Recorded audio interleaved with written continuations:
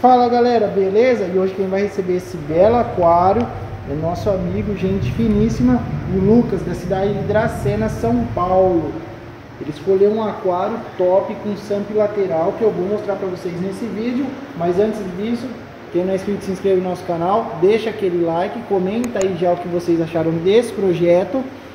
E, e acompanha a gente no Instagram também. E o orçamento chama a gente no WhatsApp. O orçamento aqui pro YouTube é um pouco difícil a gente passar. Então chama no WhatsApp que é instantâneo.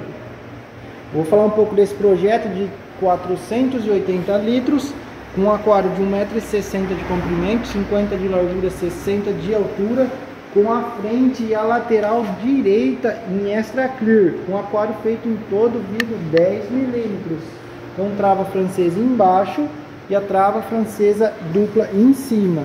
Esse aquário é um aquário de água doce, então ele conta com uma tampa. A gente faz um furo aqui na tampa que dá para alimentar e fazer a pegada da tampa mais fácil e com mais praticidade.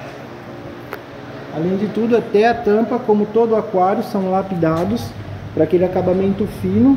Quem é exigente e gosta de qualidade, é isso aqui que você precisa. Então chama a gente aí. Olha que top esse aquário. A gente envelopou ele com vinil automotivo atrás e na lateral do SAMP. Olha que top. Embaixo a gente tem o EVA, que ele dá esse destaque mais escuro na base. Esse, esse aquário conta com EVA de 8 milímetros. E aqui a gente tem um SAMP lateral, que ele fica posicionado do lado esquerdo. Foi a posição que o Lucas escolheu. Então aqui a gente tem uma tampinha também para deixar tudo muito bem camuflado.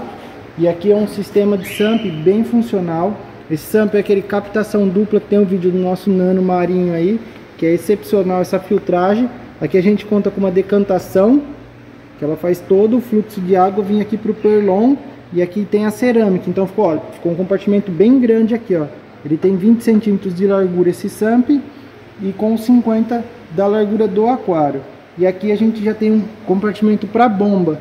Então é um sistema que fica bem silencioso e a gente direciona a água com lockline, ele fica bem silencioso e o visual dele fica muito top.